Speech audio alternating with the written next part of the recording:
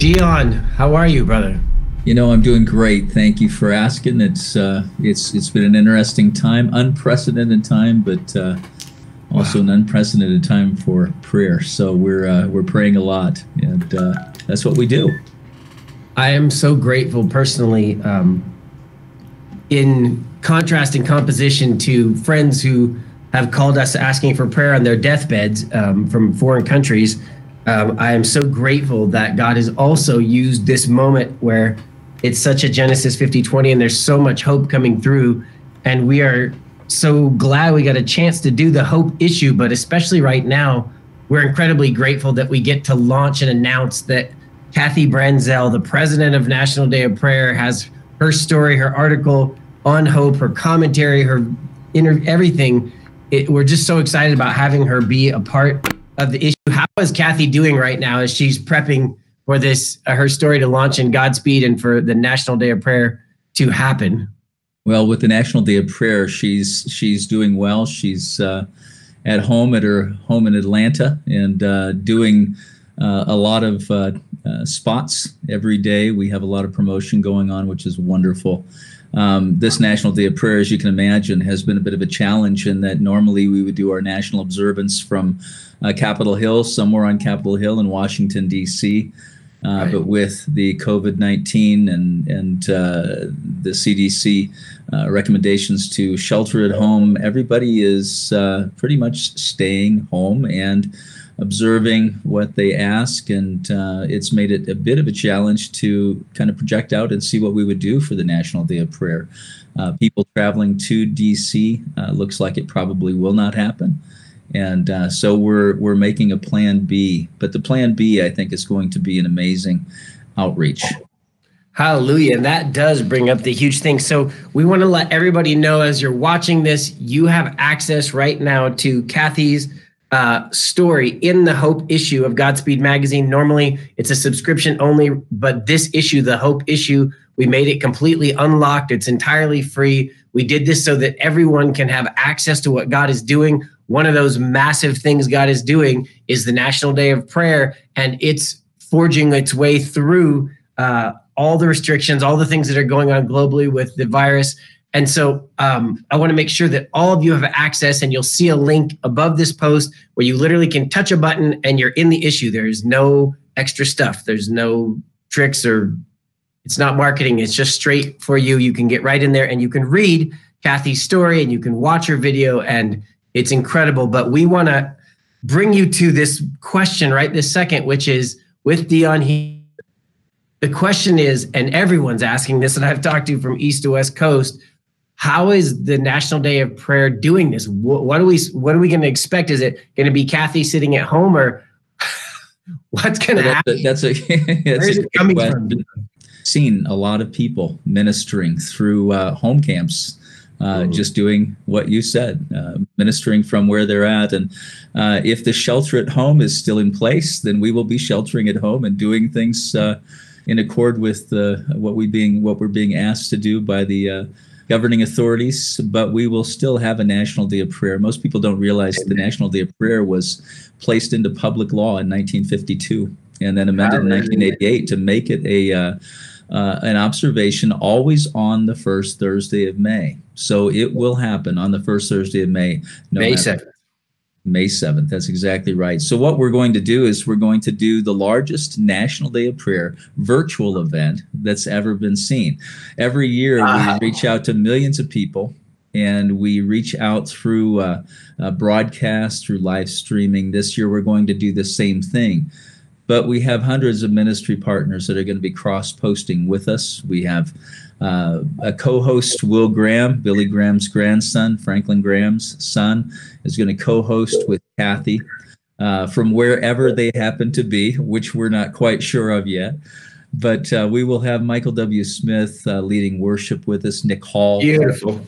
Pulse is going to be there. Um, we've got Luis Palau, who's been one of our honorary chairs in past awesome. years, and his son Andrew uh, Palau, and then we've got Bishop Harry Jackson, Jim Cymbala. There, there's a whole list of other leaders that are going to be with us from around the country, and we'll have multiple locations where we're going to be casting from. And we'll also have uh, God TV and Daystar back with us broadcasting this. We'll have Moody Radio uh, broadcasting it ac- across the country, and we're hoping to gain, um, you know, a collaboration with a lot of other uh, broadcasters, whether it's radio or television, and and really make this a day where we can gather people together individually and we can pray for our nation, which God asks us to do, to pray for those governing authorities, and to pray for our communities, because our communities and first responders and people who are working so hard right now to keep us safe and to keep us in a place where we can continue to walk in health and walk in hope. And so we are going to be engaging people, millions of people from across the nation to join us. It's going to be Thursday evening from 8 to 10 p.m. Eastern Time, uh, and that will be broadcast out throughout the nation. So, uh, for the sake of being blunt and burning this into everyone's minds, May 7th, May 7th, May 7th, May 7th, May 7th. Sorry. Um, no, that's great, brother. Eight to ten p.m. Eight to ten p.m. Eight right. to ten p.m. Eastern. And for those of us, for those of us, West Coast, five p.m. East Coast, eight p.m. West Coast, five p.m. East Coast, eight p.m. And all of you in the middle figure it out. Mountain Central, figure that out. I'm but we're excited to have everyone. Uh, you know, in, in where two or three are gathered together, Jesus says that He's there mm-hmm. in their midst. Can yes. you imagine where millions are gathered together at the same time? praying and crying out to God and asking God to intervene in our nation, not just for what's going on in the COVID thing now, but the yes. as we go through the next several months. Um, we need the Lord now more than ever. Amen. I do not mean to say that I'm thanking God that people are suffering and dying from this disease, but I do mean to say that I thank God for the way He's using uh, these conditions, what was intended for evil. I want to thank God, even as we sit here, and especially during the National Day of Prayer, just as we all call a nation to repentance, including every family member, ourselves, everyone comes clean at the foot of the cross. I want to say I'm so grateful for all the incredible things God is doing during and with these suffering moments to bring people closer to Him so that some who didn't might have hope in eternity in Jesus' name, that they might come to know Christ or that they might come back to know Christ, or that they might get deeper with Jesus. And I, all these things, I'm just so grateful to see the blessings. Uh, Dion, we have a bit of a little secret to announce here for those rare people who stay and watch the end of a video, don't we? We got uh, you and I have been working on this series, and Kathy is joining us in the series. Uh, it's called Daily Moment of Peace. And so we'll start having an incredible short little five minute segment for everyone to watch on a daily basis uh, we're going to put that out. I believe you guys are going to put it all over your channels, and uh, it's um, you know, roughly five six minutes of just purely scripture and prayer to answer a question and bring everyone to a daily moment of peace. I wonder, do you feel like that's the kind of thing that people are going to need coming on the other side of, let's say, the virus starts to back up and people can come out, hmm. and the economy? I read today there's six million uh, people lost their jobs. Uh, do you believe this daily moment of peace is going to become increasingly important that we take the National Day of Prayer and launch into this daily moment of peace practice more than ever before? Because that's kind of what's going through me. Well, and I, I think you're right. And I, I, really appreciate Godspeed Magazine and your team, Jeremy, for uh, collaborating with us, coming alongside the National Day of Prayer, and making these spots available to people because I believe that they're going to be key and critical to help keep us focused on what is important to keep our eyes on the things above because, because it's, it's it can be messy down here Canada. I mean, we can have struggles we can have uh, issues you know as you mentioned you know we've got uh, we don't know what is going to happen next but we need to be prepared by preparing our hearts and keeping our minds focused on the things above, as Jesus says. So, you know, what we want to do is to take these spots and encourage people. It's all about hope, bringing the hope of Jesus, bringing the hope of the power of the Holy Spirit into our lives, bringing the hope of the gospel.